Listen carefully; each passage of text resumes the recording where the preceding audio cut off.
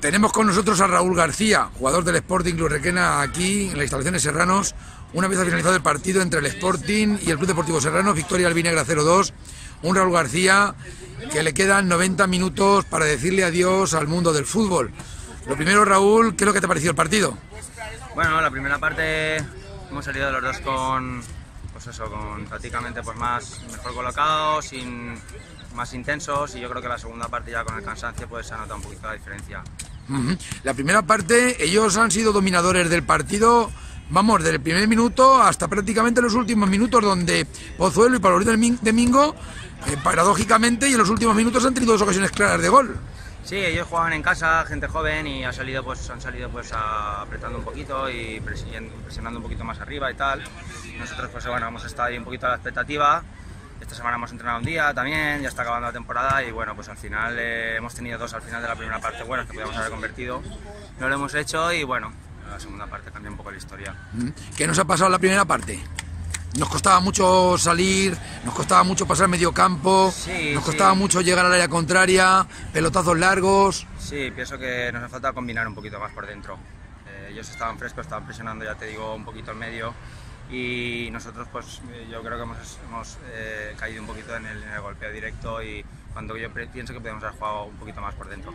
Pero bueno, bien, yo creo que tampoco han generado ellos mucho. Han tenido el balón, pero tampoco nos han generado grandes cosas. Y en la segunda mitad, ¿en qué ha cambiado el panorama? Bueno, yo creo que ellos también han bajado un poquito físicamente, han adelantado un poquito la línea porque pienso que querían ganar aquí en casa y tal.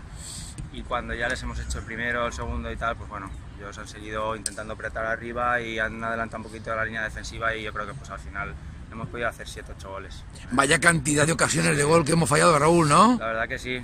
En lo personal estoy contento por, el- por los dos pases de gol y tal, pero he tenido 3-4 ocasiones y he llegado muy justo. Ya también llevaba casi 3 meses sin jugar. Creo que lo he notado un poquito al final y me hubiera gustado por lo menos hacer algún golito. Pero Has, bueno, has fallado una, fallado una. que, que en, el, en el palo izquierdo, en el palo derecho. No, pero me ha botado ahí justo cuando iba a darle con el interior y se me ha ido fuera. Y bueno, luego he tenido un par más y me voy un poquillo con mal sabor de boca. Pero Ujú. bueno, ¿Aún tienes el domingo que viene? ¿O el sábado que viene? sí, sí, bueno, me queda un partido y bueno, intentaremos a ver si el mister quiere que juegue, pues bueno, a ver si puedo acabar. Porque este año sí que, como bien decías, me lo tengo pensado dejarme, dejarme el fútbol ya. Y bueno, es muy ilusionante, por lo menos mi último partido. ¿Va a ser triste para ti dejar el fútbol, Raúl? ¿Cómo se va Raúl García del mundo del fútbol? Bueno, la verdad es que este año ya, ya me está, los últimos dos, tres años ya me está costando un poquillo. La verdad que pues eso, yo creo que lo echaré de menos sobre todo el competir. Entrenar no tanto, porque con el trabajo y todo estos últimos, estas últimas temporadas me está costando mucho ir a entrenar. Pero sí que el hecho de competir el domingo es algo que lo llevo dentro desde toda la vida y yo pienso que, me, que lo echaré en falta. Pero bueno, bien, oye, es algo que tiene un principio y un fin y estoy, hay que aceptarlo. ¿Qué es lo que se lleva Raúl del mundo del fútbol?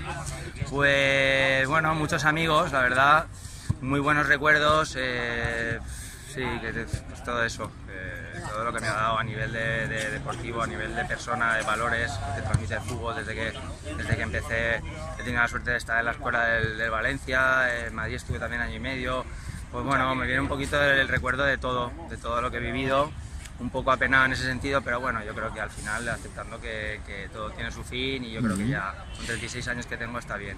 Seguro que será una, una cascada de recuerdos eh, y de sensaciones, pero si tuvieras que decir una con la que te quedarías, o dos, ¿con qué recuerdos te quedarías? Bueno, eh, la verdad que tuve la, la gran suerte de, de ir convocado con el primer equipo con el Valencia, eh, con Rafa Benítez a La Coruña, cuando estaba en el Valencia y tal, hubo una baja y estaba bien mirado allí y García Pitas me llamó, entonces pues siempre tengo ese recuerdo para contar a, pues, a mi hijo, a mis familiares y tal, a, mi- a mis amigos, siempre me queda pues eso, eh, esa experiencia.